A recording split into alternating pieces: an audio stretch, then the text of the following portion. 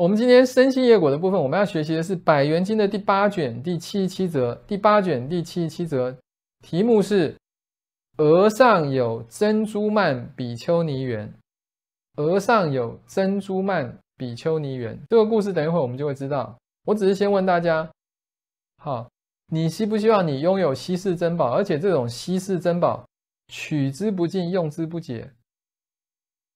而且你还有那个善根，你有这些取之不尽、用之不竭的珍宝，你还懂得拿它来布施跟供养，让自己以后的珍宝更取之不尽、用之不竭。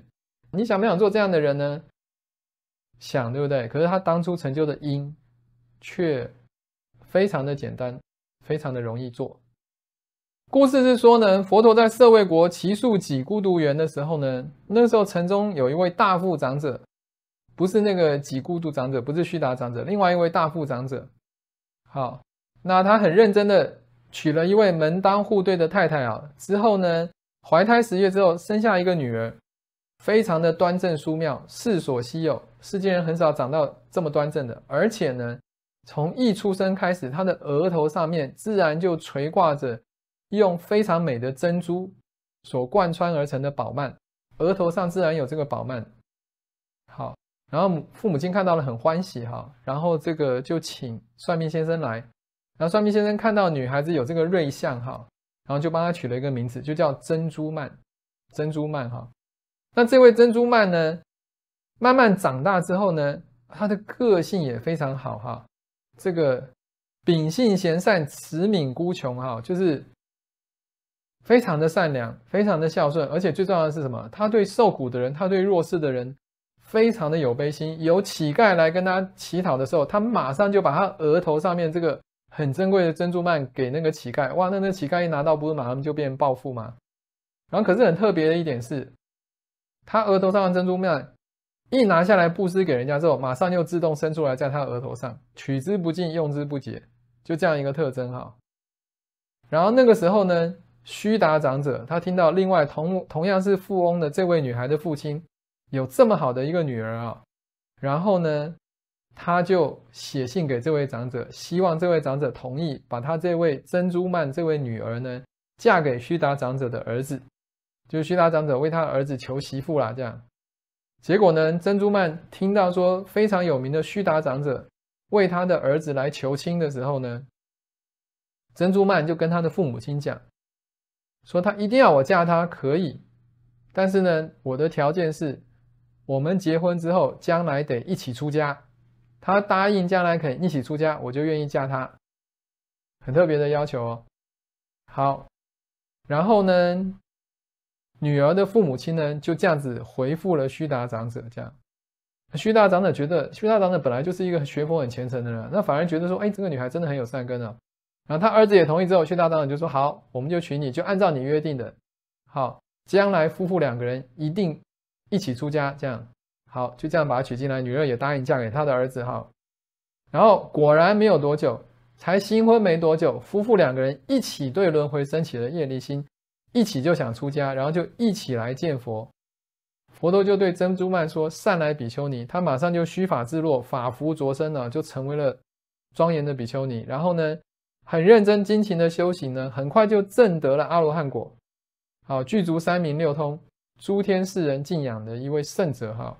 那当时僧团的比丘都特别请问佛陀说：“这位珍珠曼夫妇，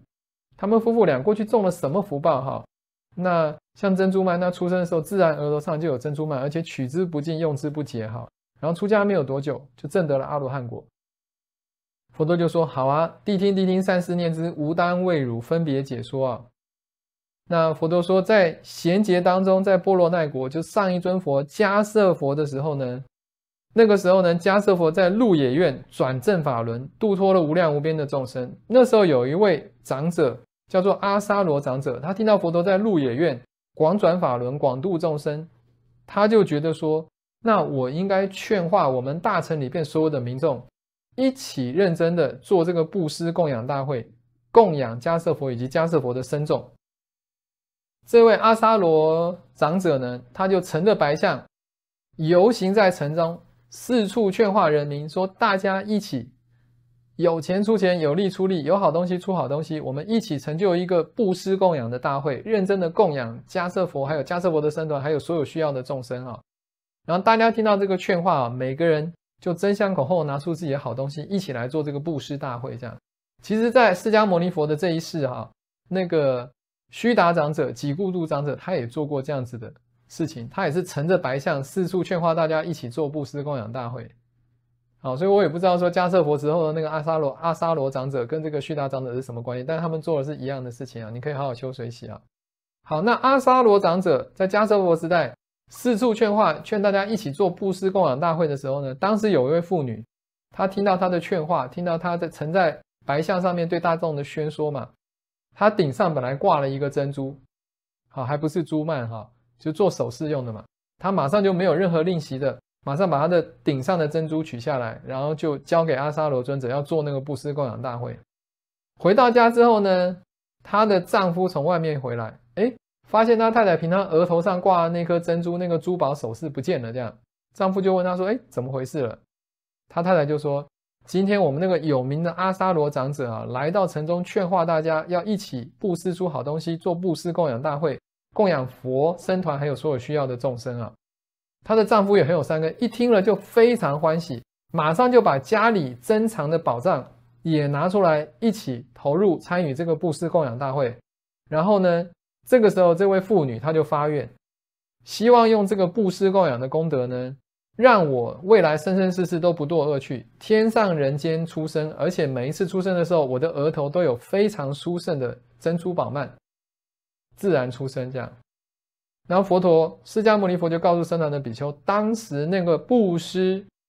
顶上的宝珠的妇女，就是今天的珍珠曼比丘尼。因为她这样的善根跟善业呢，所以出生的时候顶上的珠曼自然出生，而且取之不尽，用之不竭，而且遇到了我之后，很快就证得了阿罗汉果。那僧团的法师听到佛陀这样说的时候呢，都非常欢喜的依教奉行。所以因就是这么简单哦，就是师父常常说，与人越多而己越得嘛，对不对？尤其是你碰到具利叶门殊胜的福田，佛陀跟正法僧团在的时候。你不吝惜的把自己的好东西认真的供养给上师三宝，供养给一切需要的众生。你这样子做的时候呢，将来得到的果报跟善业当然就是源源不绝的。所以将来感果的时候，别人也会觉得不可思议啊！你怎么会拥有这么多美好的东西，而且取之不尽、用之不竭？你又那么愿意跟大家分享？其实当初种因不难呢，只要你执欲善知识、执欲佛陀、执欲正法、依教奉行，一点都不难。这就是师傅讲的，只要真正明白那个离苦得乐的真相，谁都要走修行这条路。